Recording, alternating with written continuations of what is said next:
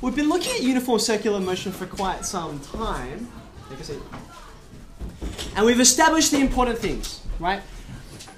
In terms of vertical motion, because we've, we've solely been dealing with horizontal circles, right? So we've got bird's eye view right now. We're looking down at this. Vertical motion, no forces acting, okay? So we don't need to worry about that here. But we have this centripetal force acting, yeah? So either in terms of your angular velocity, mr omega squared, or as we looked at this morning, more helpfully, mv squared on r. And we realized that that can be accounted from by tension in the string, or gravity, or this morning, bank tracks, right? So if we sort of elevate one part of a road, like so, at some angle, and we're heading along, this normal force, the reaction force, is pushing you toward the center, right? So you stay on the road.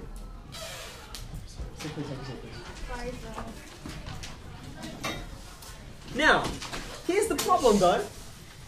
When you don't have a bank track, when you don't have a bank track, how do you do this? We've already discussed that you've got like you know friction on the wheels, and that's good, okay? But as you'll see in a second, sometimes you don't have much friction on the wheels to count on. Example. Okay, wake up. Let's have a look.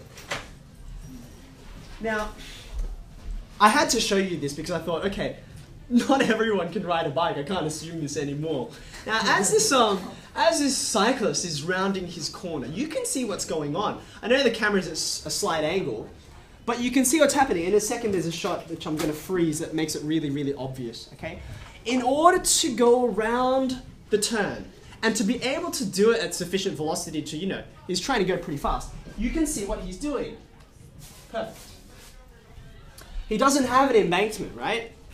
Instead, he's banking, well, he's banking himself, actually. Uh, in terms of aircraft, if you've got a plane and it's, it's like this, um, to turn from side to side, they call it banking, right?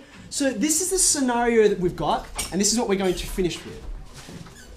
So, let's draw ourselves a fresh diagram.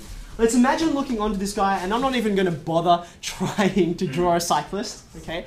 But if we have the vertical, okay, like this, this is upright. So let's imagine this is a cyclist just cycling on a normal straight path, no problems, okay? But he's off at an angle, so he's off something like this. Okay, so there's my cyclist. Can you see? It's a, it's a cyclist, right? Now, because he is banking, because he is banking, right? Friction is no longer acting in the same way as it would if he was just upright, okay? In fact, friction is taking him this way, okay? Does that make sense? Now, it's a horizontal road. It's a horizontal road. So this is the normal, the reaction force, okay? And this over here, it's F not for force, but for friction, okay? Makes sense? Now, what we want is for him to bank at just the right amount, at just the right angle, such that he's going to head in, but he's not going to topple. Okay, now how do we make sure things don't topple? I want you to think back to when we had the keys on top of a flat surface. So when you look at this scenario, here's my keys. Now, what makes this a stable situation? I'll get these strings out of the way. What makes this a stable situation is that friction here is acting directly onto the body. So it's not going anywhere, right? So if you were to draw the friction force here, well, it's not moving, but it would be facing in this direction, the same direction as the normal, okay? In this situation, it's going in another direction because he is banking, okay? And when you add up these two forces together, in order to make it stable, you want the sum of these two forces, the resultant force, to be going, just like with the keys, right?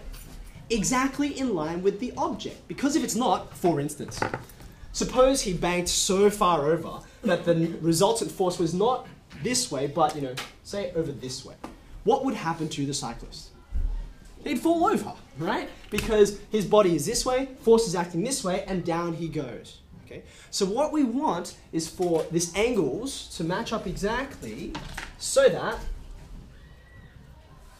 the resultant force lines up exactly with the cyclist, like so.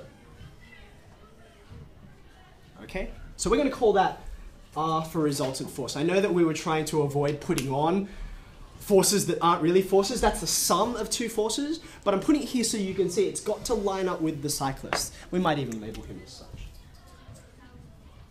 Okay, now, we need a bit more information on here in order to resolve the forces and see what's going on, okay? So when you had a bank track, it made sense to say, well, we'll call that angle theta. That's the most sensible place to put it. That's the um, inclination from the horizontal, okay? Now, where do you think would be the most sensible place to put an angle on this diagram? Let me label some things. Uh, let's call this A, B, C, D. So now we've got a coordinate system. Which angle would you name? Which angle do you think is the most appropriate to say, here's an angle that represents how far I'm banked, how far I'm inclined? What do you think? D, DB which? DBA? Who reckons DBA or ABD? Quite a few of you, okay? Now, hands down.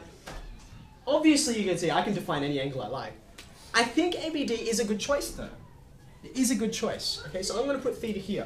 The reason why I think it's a good choice is because what's the normal situation? The regular situation. You're cycling along and you are upright. So you would say, I'm at zero degrees. That's my normal situation. Just like here, what's the normal situation of a road? Answer, horizontal, right? So here theta is, how much am I changed from the horizontal? But because we're talking about a cyclist who's usually vertical, right? The change is measured from the vertical. Okay? So far, so good. So let's try and resolve the forces here and see what's going on. Okay? Um, if I've got theta over here, I can join up some um, right angle triangles here.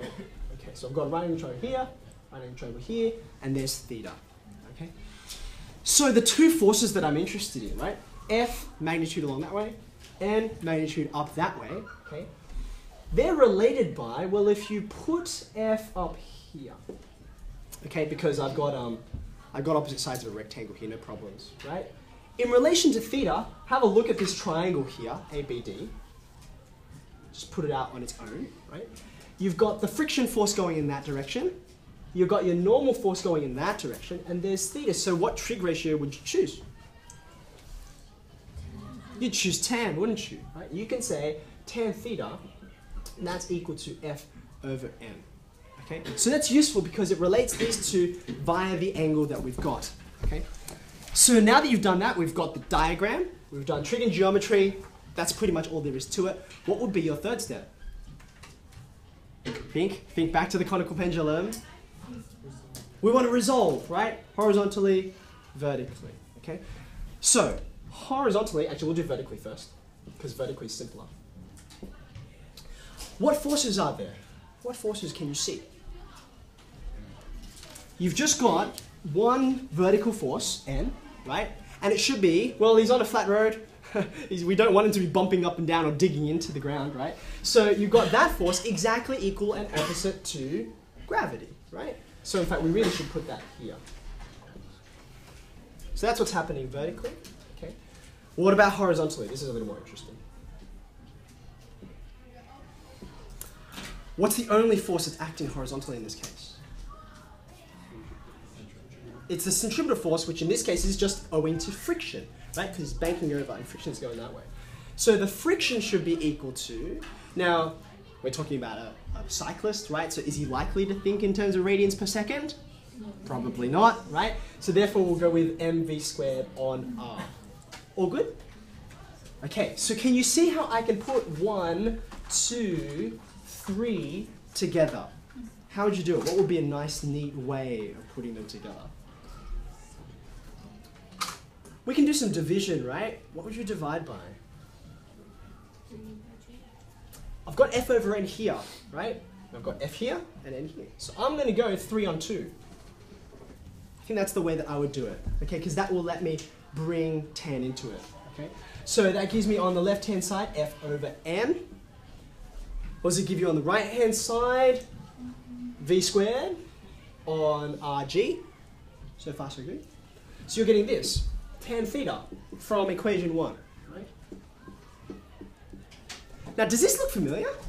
This should look familiar. This is almost exactly the same as what we saw with the bank track, right? shouldn't surprise us because what the cyclist is trying to do is mimic this situation, except he just doesn't have a bank. He's making it in his body. Okay? So what I really want is the angle. Theta equals, so I've got tan inverse. There you go. So that's, that's how I find the angle of inclination away from the vertical based on how fast I'm going and what's the corner that I have to go around. How big is it or how small is it?